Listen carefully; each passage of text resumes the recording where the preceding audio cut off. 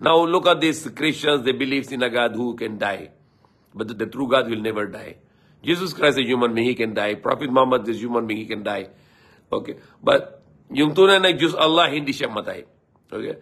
So Muhammad pwede patay, si Jesus pwede na siya patay, si Abraham pwede siya patay, si Moses pwede siya patay. Yung Diyos, yung, yung tagapaglikha, Allah, hindi siya patay.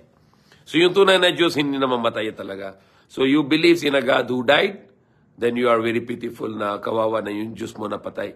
Kung yung tunay ng Diyos mo, Allah, si Allah hindi siya mamatay. Okay? So that is the one of the identity of the God. The true God will never die, will always be alive, will always be available to help you and to guide you to the straight way.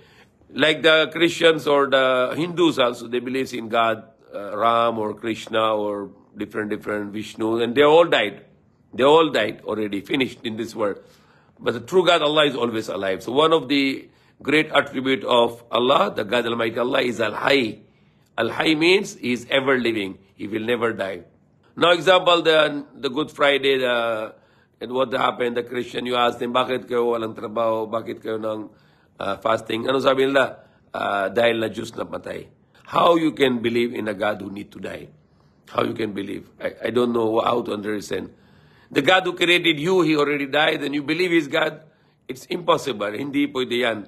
Impossible na na Diyos na matay. So Jesus Christ ang tao, so pwede siya matay.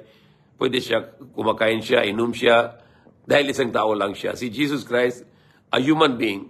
Kahit kita mo yung mukha ni Jesus Christ, parang Arabo, parang taga Middle East, okay? So hindi siyang Diyos talaga. Si Jesus Christ isang tao, propeta, kaya kumain siya, inom siya, tulog siya, gising siya, at mamatay siya.